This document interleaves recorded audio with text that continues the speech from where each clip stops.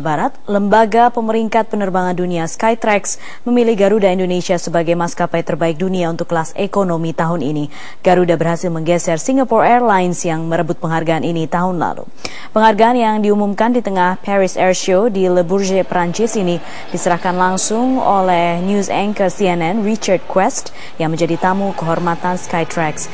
Lembaga Pemeringkat Penerbangan Dunia yang bermarkas di London ini memilih Garuda Indonesia sebagai maskapai terbaik kelas ekonomi berdasarkan pilihan penumpang melalui survei. Selain World's Best Economy Class, Garuda Indonesia tahun ini juga meraih penghargaan untuk kategori World's Best Economy Class Seats. Garuda juga masuk dalam top 10 atau 10 maskapai terbaik dunia meski berada di peringkat ke-8. Sementara peringkat pertama maskapai terbaik dunia tahun ini diraih Emirates.